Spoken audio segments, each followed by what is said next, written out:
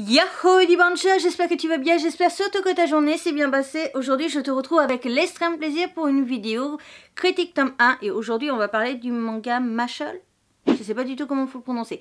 Toujours est-il, nous sommes sur un shonen qui date de 2020 au Japon et de 2021 en France. La série est âge coursier aux 12 ans et plus. Nous sommes sur un shonen dans le genre action, aventure, comédie, fantastique, arts martiaux, combat et magie. Euh, et je pense que j'ai tout dit, à part que le tome suivant, donc le tome 3, sort en juin, le 2 juin précisément, pardon. voilà, et c'est tout en ce qui concerne les grandes lignes.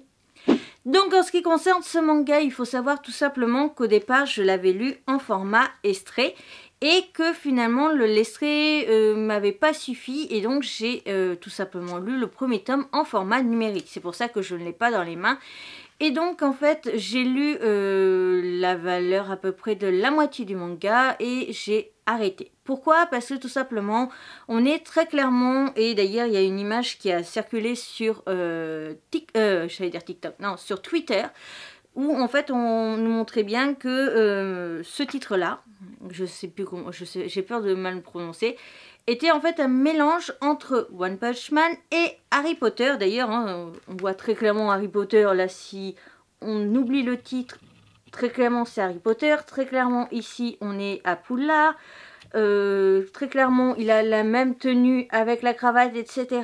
que dans Harry Potter. Comme par hasard, la cravate est rouge comme Gryffondor, etc., etc. Donc personnellement, ce que j'ai bien aimé au tout début, c'était donc l'idée, le personnage qui n'a pas de pouvoir, qui dans un monde où tout le monde a des pouvoirs, et que lui, il n'a pas de magie, mais par contre, il est tellement fort en muscles, etc., qu'il peut repousser d'un revers de la main, du coup, des sorts, et ça, je trouvais ça trop clash, j'aimais ça, je trouvais ça génial, et je trouvais ça marrant. Donc, tout ce qui était de l'estré aurait permis et m'aurait fait acheter le manga. Je parle, bien entendu, en version papier. Et... Euh, malheureusement, en fait, je me doutais un petit peu que ça ne serait pas que ça. Et donc, finalement, j'ai décidé de l'acheter en format numérique, tout simplement parce que je me doutais que je n'irais pas forcément plus loin que le tome 1. Donc, honnêtement, on voit très clairement que c'est euh, une grosse parodie, mélange One Man, du coup, et Harry Potter. Personnellement, ce n'est pas du tout le genre d'histoire que j'aime, le genre de délire. Et euh, oui, j'ai aimé l'univers Harry Potter. Non, je n'ai jamais vu One Punch Man et ça ne m'intéresse pas. Oui, une euh, et non, du coup, une parodie ne m'intéresse absolument pas et ce n'est pas du tout mon délire. Mais une histoire comme celle-ci, ce n'était pas fait pour moi parce que vraiment, on a euh, tous les personnages de repris. On voit le professeur Rogue, on revoit le professeur Dumbledore. Je sais plus si j'ai pas aperçu le professeur McDonagall.